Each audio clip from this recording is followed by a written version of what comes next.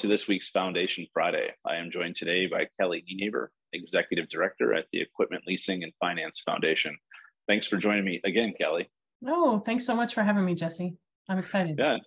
No, I'm glad to have you on here. I know it's been a little bit since we've uh, featured the mm-hmm. foundation mm-hmm. on one of these um, showcases. So glad to uh, sit and take a few minutes to sit down with you and you know discuss what the foundation's up to in 2023. Great. Happy to do it. I think we did one of the first ones in the middle of the pandemic. Yeah, yeah. it's been a while. So we'll have to see um, with all the additional traffic that we're getting to the channel. We'll have to make sure that this one obviously out, outperforms the last Love one. It. Love it. so, Kelli, for those people who might not be familiar with you, do you mind just kind of introducing yourself and the sure. foundation? Sure. Um, Kelli Nienaber. With the Equipment Leasing and Finance Foundation, we are a nonprofit and we are affiliated with ELFA, um, but we operate separately outside of any membership of any of the trade organizations. So uh, we serve the greater good of the entire industry. We have a couple of major program areas where we spend our time on forward looking research for and about the industry, like the market sizing study that um, kind of has identified that this is a $1 trillion industry that comes from a foundation report, uh, lots of topical research. And then separately, we have an academic outreach program that is connecting companies and their employees to college students, aiding the industry's efforts for recruiting um, and looking at the future workforce for the industry. Um, I've been with the foundation, this is year 13 for me, and I've been with the industry for 17 years before that. So been around a while. just just just a little bit. yeah, just, you know. um so thank you for that um, that overview there, Kelli. So sure. you know what um, what re- new reports do we have coming out, or that you've already put out, or that we can anticipate coming out from the sure. foundation this year? So focus solely on the research uh, for a minute. We kind of bucket our research into economic reports, where we publish um, the annual economic outlook, and then we update that quarterly. So the Q2 economic outlook is current, um, was just published in April. And then in July, we'll have a Q3 outlook update. And then we'll publish the 2024 um, outlook in December to get everybody ready for next year. Uh, along with those economic outlooks, we have a suite of economic related products that we produce with Keybridge Research, who's a, a DC based um, economic and policy firm here in the Washington, D.C. area. We have the industry snapshot, which is full of charts and graphs and talking points. It's an excellent research or excellent resource if anyone is doing a presentation to a parent company, to customers, clients, investors, stakeholders. It's a great tool to use because it, it complements the economic outlook so it can give a good industry overview, but it's very focused on the the charts and the talking points that explain where the economic environment is. Um, we also have the monthly momentum monitor, which tracks 12 different verticals and their 10 year investment cycles. We have the monthly confidence index, which is a survey of industry leadership. It's meant to be sort of a gut reaction to what's going on in the industry right now. We publish that on the third Thursday of every month. Um, so those are all kind of our, our economic tracking tools. And then separately, we have topical research. We have a, a volunteer driven research committee that develops ideas. Uh, we put out RFPs. We look for uh, researchers to be able to produce the content. And we always have volunteer steering committees to guide them. Everything we do is focused on the future. So everything has a lead time. Some of the economic reports might be three to six months, and our topical reports might be three to five years um, but everything is looking ahead at what the potential opportunities, potential challenges, um, looking at trends and future impact um, to the industry. So from the research perspective, there is there's 30 almost 35 years of content available and it's all free on our website. So if you are looking for anything, whether it's the market sizing data, specific um, information on, on a particular vertical, that you want to get into, a geographic area, um, anything from ESG and uh, funding to software applications. In fact, we just published a report on um, specialized applications and software for the industry, which is great, getting a lot of um, popularity with that one. Uh, we also have some segmented research. We just published a report specific to the captive industry. I mean, it's all there. There is a wealth of information um, all available at your fingertips, one touch download. So check out the foundation's online library. Yeah. And and you know, I just wanted to make sure I clarify this.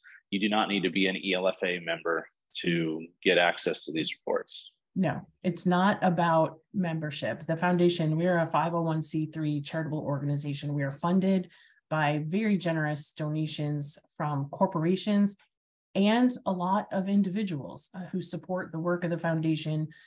Our mission is to inspire thoughtful innovation for the future of the industry. We're all working towards bettering the industry as we move forward. So we have a lot of um, charitable dollars that we are stewarding at the foundation to publish this research and to share. Uh, I don't immediately want to segue into our academic outreach program, but we're also funding a scholarship Perfect. program. Well, that um, was that was that, that was where I was going to segue. So let's let's let's let's segue. Okay, um, a lot of our donor dollars are also supporting our scholarship program. We have we're up to five scholarships right now. We we launched the program in 2020, right as um, the pandemic was starting but we had three the first couple of years, and now we're up to five scholarships. So hopefully that program will continue to grow. Um, applications are due later in May, and then we'll announce the winners over the summer. It's been a really great connection point. It's a natural extension of the guest presentation program that the foundation has hosted for a long time that gets industry volunteers into college classrooms on campuses meeting with the local economic club, the financial management club, the marketing club, or maybe it's Lease Accounting 101, all the different courses at different campuses across the country. And that's all volunteer led. And Jesse, you know, you've done those um, over the years. Sure. So um, that's been a really great experience for the students, for the schools, for our volunteers, for the foundation. And it just turns this natural connection. It helps the foundation introduce us to new academic faculty that can then come back to us as researchers. It gives us a connection point to the students, shares the overview of the industry, the career pathways that are available in almost every area, not just finance. Um, so want to make sure that students are aware of the wealth of opportunities that this industry offers.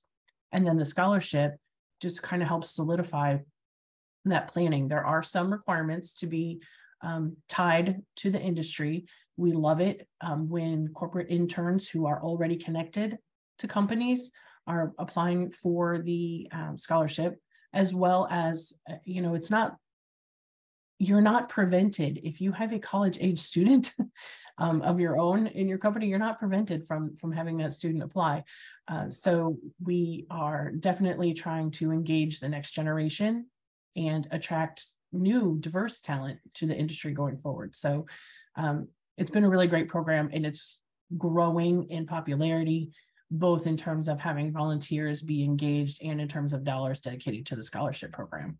So we're pretty excited about the potential that this has um, to help move the industry um, and keep us going forward into the future years to come. So it's pretty, pretty exciting stuff.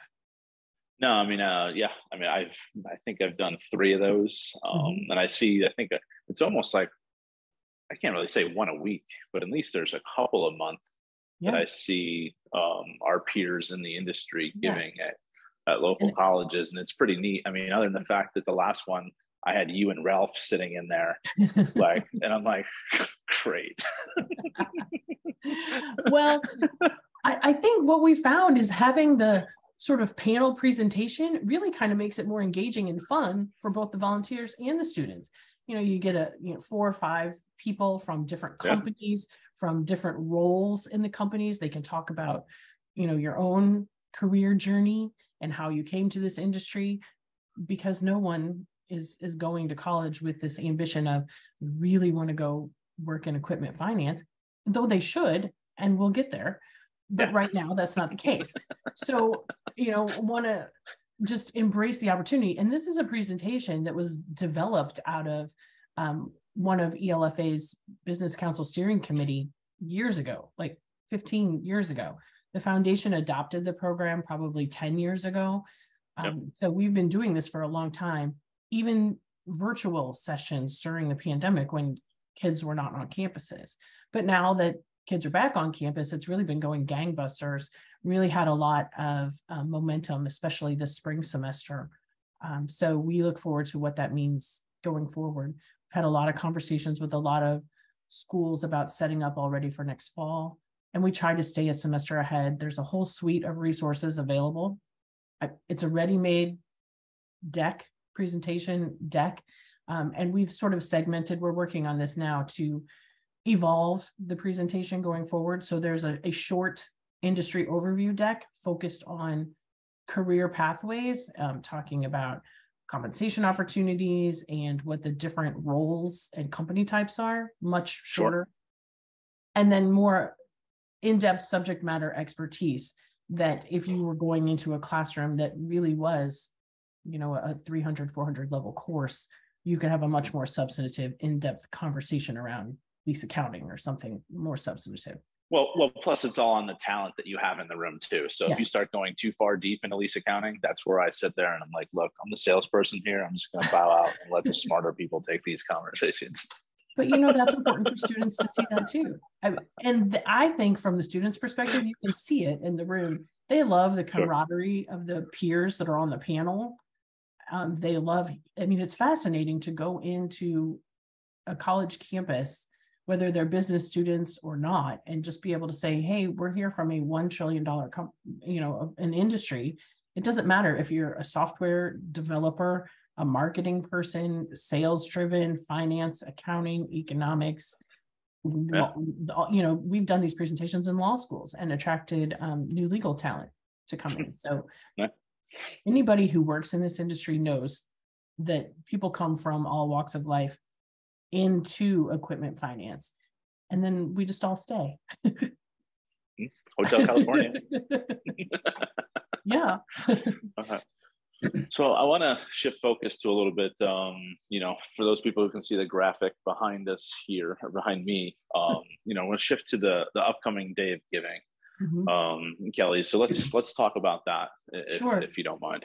Sure. So I mentioned a moment ago, the foundation is funded by corporate donations and individual donations. These are tax deductible, charitable gifts, and that's how we fund the publication of our research, the scholarship fund, all of our programming, all of the things that the foundation does. So we are so grateful for the support of all of our industry audience.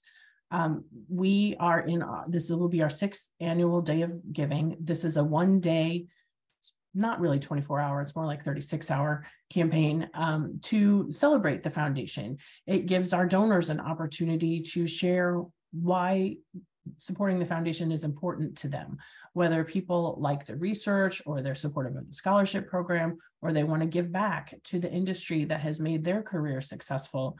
This is a, a one day celebration. It's mostly online, a social media campaign. So we encourage people to participate you know, make their own posts, like and share the posts that the foundation will be putting out.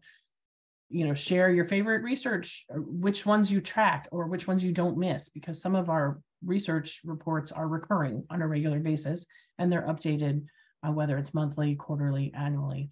And sometimes it's, you know, the the academic outreach side and people have favorite memories of the school that they visited and the student that they connected with it that they then hired as an intern and is now a full-time employee and all those success stories this is the day to bring all that out and really encourage maybe those who don't already support the foundation to consider making a gift and pay forward to the future of the industry everything sure. we do is about looking ahead our tagline is your eye on the future, and we want to make sure that this industry evolves and sustains and survives and thrives long into the future. So we welcome support, participation, and encourage you to reach out if you have any questions or suggestions that will um, help us all make this industry a better place going forward.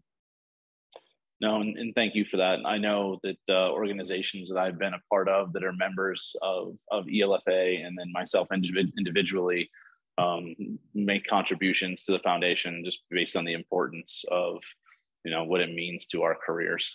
Yeah. So, yeah. yeah. And, you know, I mean, we all make choices for where we donate our charitable dollars for whatever our personal communities, our kids' schools, all the local um, charities or national charities that are out there. This is an industry related charitable organization that really does good work on behalf of the entire industry. And it's not tied to company membership in any particular organization. So we are open to all, available for all. Our resources are free, and we encourage you to use them, participate. You can volunteer your time. You can, you know, make a financial contribution, and it is a valuable investment in the future of the industry. And then I'll also put on here. I'll put a link to the foundation website um, and then on there, I can also probably put your email address too if people have specific questions or want sure. to further volunteer. Sure. Yeah, that'd be terrific. We welcome it all. Okay. Well, excellent, Kelli. Well, I appreciate your time today. Um, day of giving? June 6th. June 6th. I'm like looking, I'm like, I think I'd be able to read the graphic behind me. However, I can't and I don't want to be rude really. and, turn, and turn around. so, so June 6th, everybody. Um, June be sure 6th. to yes, sure to donate individually. And you know, if your organizations haven't made donations, um, you know, let's get them to uh, to do so as well.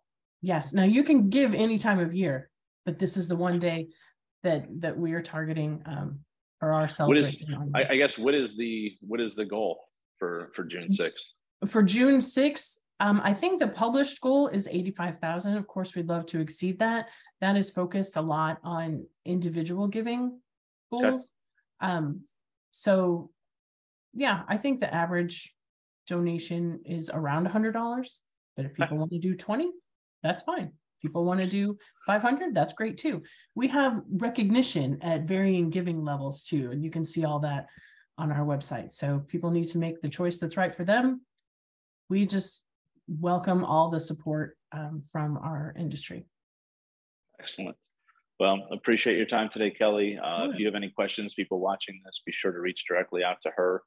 Um, and uh, look forward to seeing you here in a couple weeks in Capital Connections. Yes, Jesse, thanks so much for this opportunity. We really pre- appreciate your support and the support of your network and all the things that you do to help us as well. Thank you. Well, thank you for that, Kelli. Talk mm-hmm. soon. You have a good day. Okay. All right. Bye. Bye. Bye.